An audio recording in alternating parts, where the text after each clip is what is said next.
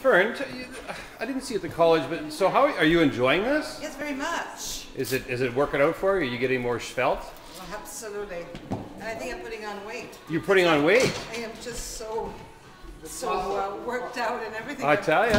Developing up. What does Len think? Oh, he's very encouraging. Oh, that's good. Gets me out of the house. That's right. Okay. I'm taking videos. Oops.